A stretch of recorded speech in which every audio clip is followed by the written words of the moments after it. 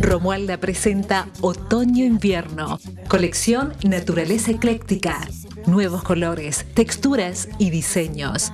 Temporada Otoño-Invierno de Romualda. Local exclusivo, 25 de mayo 766.